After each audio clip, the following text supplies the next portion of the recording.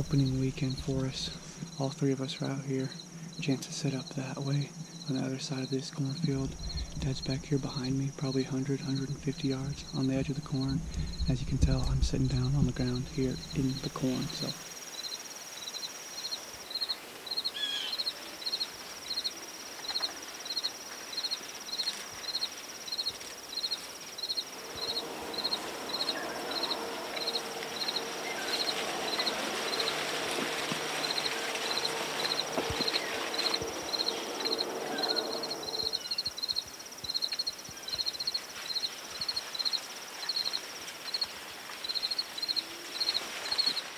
That's the movement we were expecting right there.